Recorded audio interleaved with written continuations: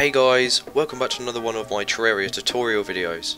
Today I thought I should do a statue farm, because I know many people use statue farms in Terraria, but they can't really think of any good designs.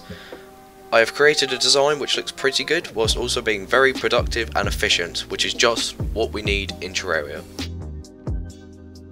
Okay guys, so I'm back, and now we've let this run for a couple of minutes, and let's see what loot we got and how many coins we can get from selling all of this.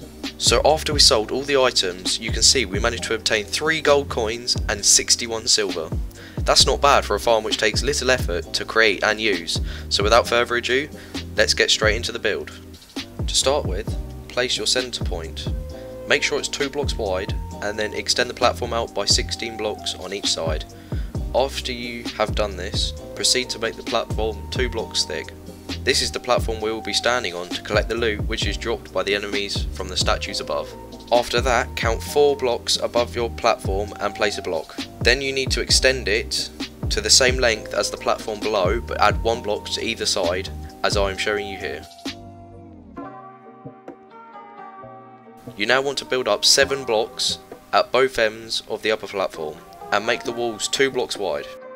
Then create the roof of the build and make that two blocks wide as well. Now we're moving on to the inside of the build.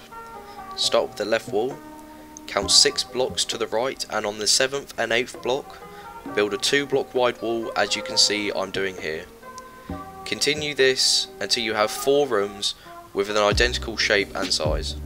Then you need to place 3 of each statue in the rooms above and I recommend using the piranha, jellyfish, slime and shark statues as these enemies have high value drops.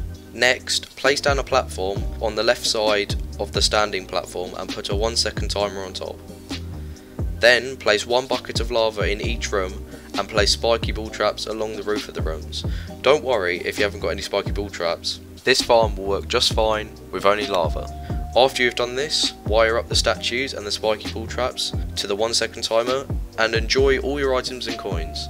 So guys, if this video did help you in any way, please remember to like and subscribe, turn on notifications, and I'll see you in the next video.